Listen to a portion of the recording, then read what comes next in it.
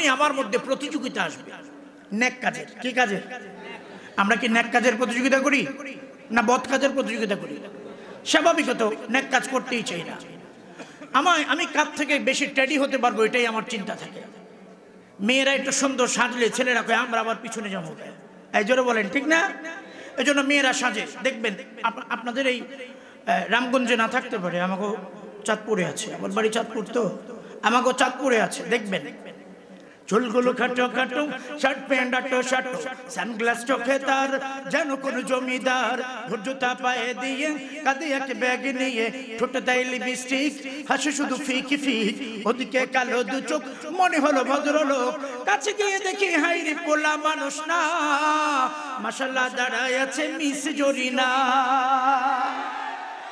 এটা হলো নারীর সাজন।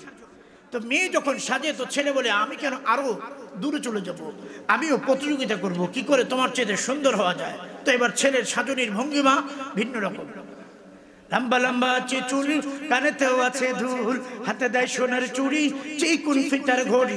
পাঞ্জাবি গায়ে দিয়ে হাত আছে মোড়ানো, লম্বা ওড়নাটা কাঁধে আছে ঝুলানো। হেঁটে চলে আঁকা বাঁকা, যেন কোনো নায়িকা কাছে গিয়ে দেখি হাই রে মাইয়া মানুষ না। এটা হলো অঙ্গ পাড়ার মিস্টার সোহেল রানা।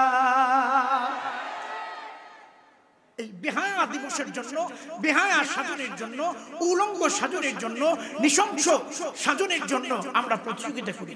কিন্তু আমাদের পূর্বপুরুষরা কি নিয়ে প্রতিযোগিতা যখন আমরা গুনাহ নিয়ে প্রতিযোগিতা করতেছি, তখন আমাদের মধ্যে আজাব আসতেছে আজাব